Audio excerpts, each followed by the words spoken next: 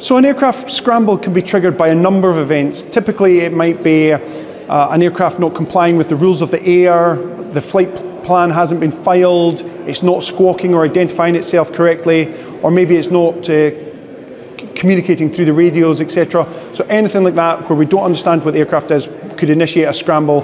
That decision will get made by NATO and we'll launch to intercept as directed. So during an air interception, we'll get the uh, we'll get our tasking from uh, from NATO.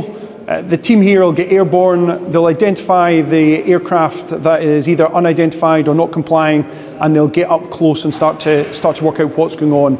Uh, they'll try and speak to it. They'll try and communicate it, identify what it is, and then feed that information back so that further decisions can get made.